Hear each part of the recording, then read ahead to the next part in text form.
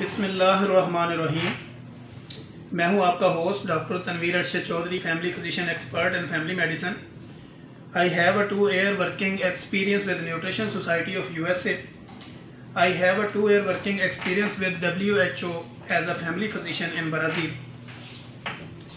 आज हम अपने viewers follower patient friends and family के साथ एक अहम और इंतहाई इंटीक टॉपिक के ऊपर गुफ्तु करना चाह रहे हैं। जैसा कि आप जानते हैं कि हमने कोई भी एपिसोड, कोई भी जो हम वीडियो बनाते हैं, क्लिप बनाते हैं या आपके लिए इंफॉर्मेटिव वीडियो बनाते हैं तो ये बेसिकली हमारे अपने क्लिनिकल ट्रायल के अंदर से जो डाटा हम कंक्लूड करते हैं, उसी को ही हम मौजू बनाते हैं कि हमारे क्लिनिकल ट्रायल के अंदर, मेरी अपनी ज़ाती प्रैक्टिस के अंदर,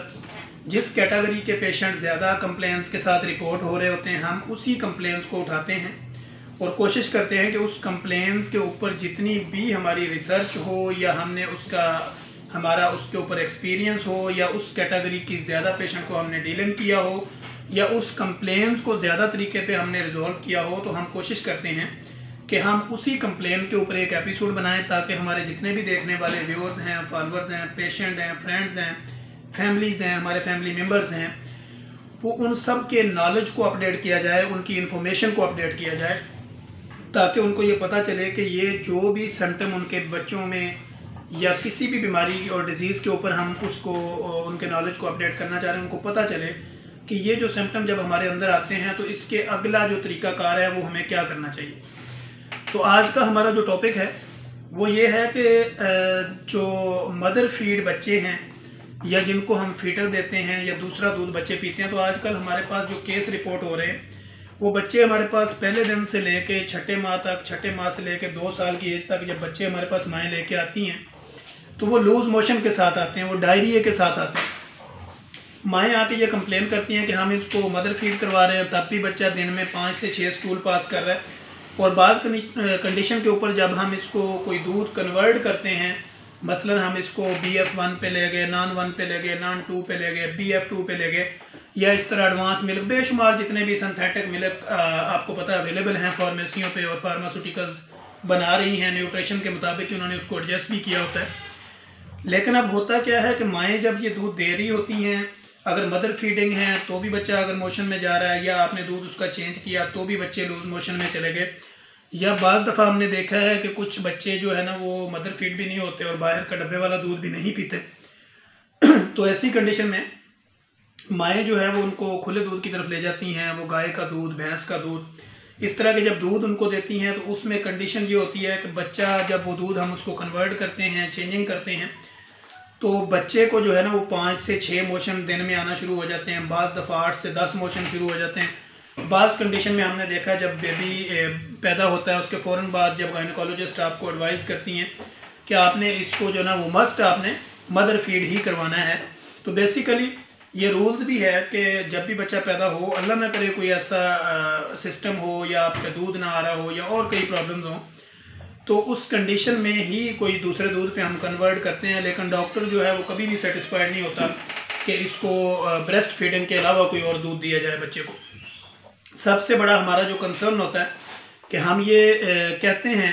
कि भाई बच्चा जब पैदा हो गया तो माँ को चाहिए कि वो मस्ट जो है वो इसको दो साल मदर फ़ीड करवाए, यानी इसको ब्रेस्ट फीडिंग दे। माँ इसको बच्चे को अपना दूध पिलाए। तो ही बच्चे का एनर्जी लेवल उसका इम्यून सिस्टम उसका दिफाई निज़ाम, उसकी कुत मुदाफ़त जो है वो स्ट्रॉन्ग होती है।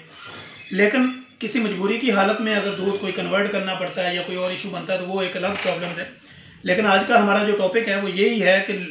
कम उम्र बच्चों में बार बार लूज मोशन का होना, दूध चेंज करने की वजह से लूज मोशन का होना, या माँ से दूध लेते वक्त मदर फीडिंग के दौरान बच्चे का बार बार मोशन करना।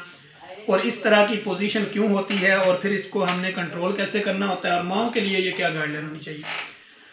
तो सबसे पहले हम जितने भी हमारे देखने वाले हैं व्यूअर्स हैं पेशेंट हैं फ्रेंड्स हैं फैमिलीज़ हैं, जो माएँ हमें देख रही हैं, या हमारी इस वीडियो को सुनेगी तो उनके नॉलेज के लिए ये है कि जब आप उनको मदर फ़ीड करवा रही होती हैं तो आपको अपनी डाइट का ख्याल रखना होता है। अगर आप अपनी डाइट में फास्ट फ़ूड या इस तरह की स्पाइसी चीज़ें या बहुत ज़्यादा हार्ड फॉर्म में सख्त चीज़ें अपनी डाइट में इस्तेमाल करेंगी तो बच्चे को जब दूध कन्वर्ट होगा तो चूँकि बच्चे का डाइजेस्टिव सिस्टम अभी स्लो होता है जो वो बच्चा अभी अपनी ग्रोथिंग एज में होता है, फिर उसका इम्यूनिटी उसकी डेवलप हो रही होती है तो माएँ जब इस तरह की गज़ाएँ खाती हैं हार्ड फॉर्म में चीज़ें लेती हैं, बहुत ज़्यादा स्पाइसी चीज़ें लेती हैं, बहुत ज़्यादा खट्टी चीज़ें लेती हैं, या बहुत ज़्यादा ठंडी चीज़ें लेंगी, या बहुत ज़्यादा गर्म चीज़ें लेंगी, या क्वांटिटी और क्वालिटी का ख्याल रखे बगैर, माएँ अपनी डाइट को डाइट की लिमिट्स को क्रॉस करेंगी। तो ऐसी कंडीशन में जब वो बच्चा मदर फ़ीड करेगा तो वो उनकी जो मम्मा से जो उसकी ट्रांजेक्शन होगी, या मम्मा से जो ट्रांसफ़र होगा उनका सिस्टम तो उसमें जो है वो बच्चे को मोशन लग सकते हैं। अब बच्चा पाँच छः सात, आठ दफ़ा जब मोशन करेगा तो बच्चा डिहाइड्रेशन में चला जाएगा बच्चे को पानी की कमी होगी क्योंकि ऑलरेडी वो बाहर से पानी इंटेक नहीं कर रहा होता। वो मदर फ़ीड कर रहा है तो दूध ही उसकी मुकम्मल गज़ा होती है। जब वो माँ ऐसी चीज़ों को या ऐसी डाइट का अपना ख्याल नहीं रखेगी तो वो बच्चे में कन्वर्ट होगा और बच्चा जो है वो डिहाइड्रेशन में जाएगा, उसकी आँखों, आँखें जब हम देखेंगे तो वो खिंच जाएँगी, फिर इस तरह बच्चा वीकनेस में चला जाएगा। तो डिहाइड्रेशन का मतलब ये है कि आपकी बॉडी के अंदर पानी की मकदार का कम होना जो कि ख़तरनाक सिचुएशन हो सकती है। और दूसरी कंडीशन ये होती है कि जब माएँ अपना दूध भी पिला रही होती हैं, साथ कोई भी सिंथेटिक मिल्क यानी जो मसनू तरीके पर तैयार किया हुआ डब्बे वाला दूध होता है न्यूट्रिशन वालों ने किया होता है फार्मास्यूटिकल से ये बने होते हैं। तो ऐसा जो दूध साथ कन्वर्ट करती हैं, मसलन अपना भी दे रही हैं, साथ दूसरा दूध भी देना शुरू करती हैं तो ऐसे में भी बच्चे का डाइजेस्टिव सिस्टम प्रॉपर ठीक ना होने की वजह से बच्चा डायरिया में चला जाता है। उसके मोशन शुरू हो जाते हैं, फिर जब वो हमारे पास क्लिनिकल ट्रायल में लेके आते हैं तो हम फिर ये देखते हैं कि बच्चे की रीज़न क्या है, इसको किस रीज़न की वजह से ये मोशन या डायरिया में जाना शुरू हुआ। तो फिर हम माओ को ये गाइडलाइन देते हैं कि आपने जो है वो मेडिकेशन तो हम करेंगे प्रोबायोटिक देंगे, या कोई भी एंटी डायरियल मेडिसिन देंगे, अगर उसके अलावा कोई हमें लगेगा तो हम इसको किसी भी एंटीबायोटिक पे भी डाल देंगे। ये हमारी मजबूरी होगी, क्योंकि बच्चे को हमने डिहाइड्रेशन से भी बचाना है डायरिया से भी बचाना है, ताकि ये ना हो कि अगर हम उसको बिल्कुल ही ओपन छोड़ दें तो ऐसी कंडीशन में बच्चा डिहाइड्रेशन में जाए और डिहाइड्रेशन से आगे तो क्रिटिकल कंडीशन में चला जाएगा। तो जब भी आप दूध चेंज कर रहे होते हैं तो प्रॉपर अपने कंसल्टेंट के साथ कंसल्ट करें या पीडी जो पीड्स वालों के साथ आप बात करें या प्रॉपर जो भी आपका फैमिली फिजिशियन डॉक्टर है एक्सपर्ट फैमिली में एक्सपर्ट फैमिली मेडिसिन है, या कोई भी कंसल्टेंट जिसके ऊपर आप रिलाई करते हैं, जिसके साथ आपकी इजी अप्रोच है, आप वहाँ पे जाएँ अपना सारा मसला उनके साथ खुल के प्रॉपर डिटेल के साथ डिस्कस करें, फिर वो जो आपको गाइडलाइन दें, उसी गाइडलाइन के ऊपर चले। जनरल नॉलेज के लिए हम आपको ये बताएँगे कि दूध चेंज करते वक्त या माँ अपना दूध दे। ऐसी कंडीशन में, बाज़ कंडीशन में माएँ आती हैं कि मेरे बच्चे के दांत निकल रहे हैं या इसकी दाढ़ें जो हैं, वो सख्त हो रही हैं या इसके अंदर जब मैं लगा के देखती हूँ तो ये हार्ड हो रहा है। तो ऐसी कंडीशन में भी बच्चा जो है ना, मुझे लगता है कि शायद मोशन कर रहा है या इस वजह से ये कंप्लेन के साथ आते हैं। तो हम माओ को गाइड करते हैं कि मोशन एक से दो आ जाना कोई बड़ी बात नहीं है।